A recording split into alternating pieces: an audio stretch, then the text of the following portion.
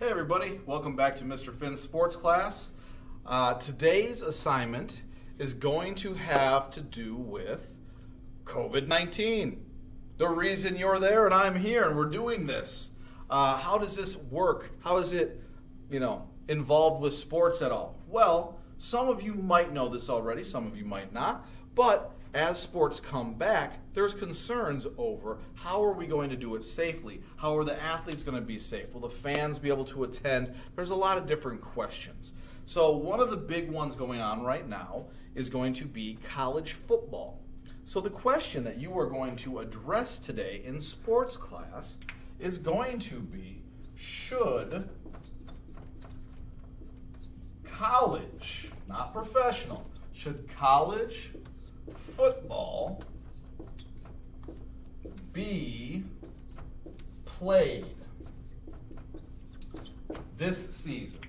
Should college football be played this season? It's a big debate. You will find a lot of information online. If you research it, you will see, you know, college football. Uh, some conferences have canceled their seasons already. Some have said they're going to try and go forward. So the real question is, based on what you look up and are reading and your research, what do you think? Should college football try to have a season, or should they not try to have a season? And I don't want to give you any any arguments, any insight, any debate points, anything. I want you to look it up and what you find, make your determination. What do you think college football should do? Should they have a season this year or should they not? This is going to be the regular assignment, same number. Let's keep it right now early on at a half page.